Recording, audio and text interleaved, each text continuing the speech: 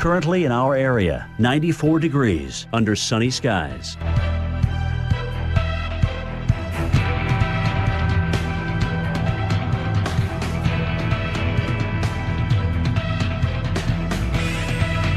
Tonight, some passing clouds, low 74. Winds southwest at 5 to 10 miles per hour.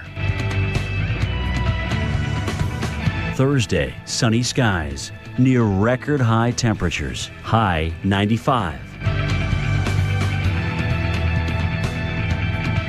Thursday night, partly cloudy, low 76. Winds west southwest at 10 to 15 miles per hour. Here's our seven day outlook.